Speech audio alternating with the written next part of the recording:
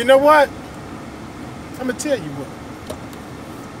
Sometimes the difference in everything that happens to you and for you is simply the way you put your flair on it. The originality of your personality sometimes makes all the difference. You know? The originality of your personality could be all you need to make that next and final step towards where it is you want to go.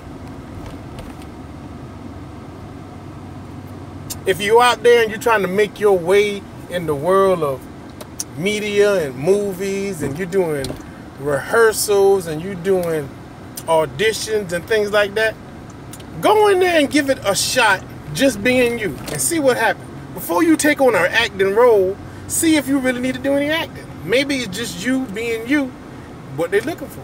You never know. You never know. I see some of the most regular, really uninteresting looking people on TV now. Because everybody feel like, well, they should have a person that looks more like me, or they should have a person that represents us, or they should have somebody who does this just like everybody else.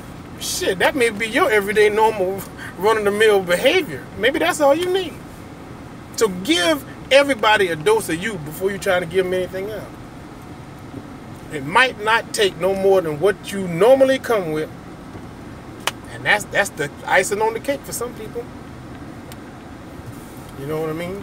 If you got a trick knee or a bum leg or lazy eye shit, who knows? That might be what they're looking for. They might pay your ass a million dollars to bring your crooked eyed, limping ass on stage or on screen and play the part of, I don't know, Gimpy the lazy eyed fucking doctor or some shit like that. I don't who knows? Who knows? Give them what you got, then, then see what role they want you to play. Give them what you got. Go in there as you first, then see what role they want you to play. You never know. You never know. That's from me to you. That's from me to you. You know what I mean? give him a try and give him hell. I'll holler at you.